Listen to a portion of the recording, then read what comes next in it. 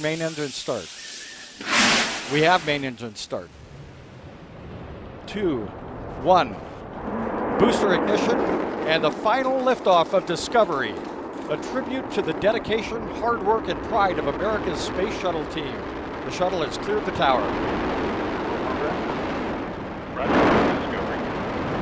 This is Mission Control Houston. The space shuttle now rolling over onto its back for the 87 minute ride into orbit. Discovery now making one last reach for the stars.